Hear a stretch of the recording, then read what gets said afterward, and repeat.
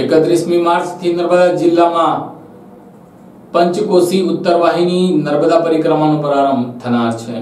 એકત્રીસ માર્ચથી નર્મદા જિલ્લામાં આવેલ એકમાત્ર પંચકોશી વાહિની નર્મદા પરિક્રમાનો પ્રારંભ થવા જઈ રહ્યો છે. તેની તડામાર તૈયારીઓ શરૂ થઈ છે. છેલ્લા બે વર્ષથી કોરોનાના કારણે નર્મદા પરિક્રમા બંધ રહી હતી, જેને કારણે હજારો શ્રદ્ધાળુઓ નર્મદા પરિક્રમા કરી શક્યા ન હતા. પરંતુ આ વર્ષે કોરોના, કોરોનાનું સંકટ દૂર થયું હોવાથી હજારો ભક્તો નર્મદા પરિક્રમા કરવા ઉમટે તેવી સંભાવના છે. આ વખતે સૌથી વધુ નર- નર્મદા પરિક્રમા કરવાનો વિક્રમ ધરાવવાના નર્મદા પુત્ર સાવરિયા માણસ. સંખ્યે લોકોને નર્મદા પરિક્રમા કરવા કટિબદ્ધ બન્યા છે. ત્યારે તેમના જણાવ્યા અનુસાર, તેનો પ્રારંભ એકત્રીસમી માર્ચ બે હજાર બાવીસને ફાગણ બધ અમાસથી શરૂ થશે અને ત્રીસ એપ્રિલના રોજ તે પૂર્ણ થશે. પરિક્રમાનો પ્રારંભ રાજપીપળા નર્મદા નદીના કિનારથી સાથે કીડી, મકોડી, ઘાટ, દંડી સ્વામી યોગાનંદ તીર્થાશ્રમ ઉત્તરેશ્વર મહાદેવ પૂંજન પ્રારંભ સવારે ચાર કલાકે ધનેશ્વર મહાદેવ મંગલેશ્વર મહાદેવ કાશી વિશ્વનાથ મહાદેવ થઈને સમસ્ત માંગરોળ ગામ દ્વારા પરિક્રમાનું સ્વાગત કરે છે ત્યારબાદ અવધૂત આશ્રમ તપોવન આશ્રમ ગોપાલેશ્વર આશ્રમ વિવિધ આશ્રમોમાં